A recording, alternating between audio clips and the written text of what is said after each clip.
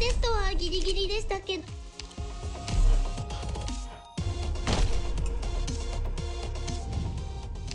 今日からお世話になります。実施の。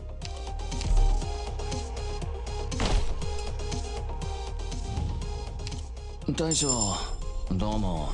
ジェイと申します。星熊さんに勧められてロドスに行き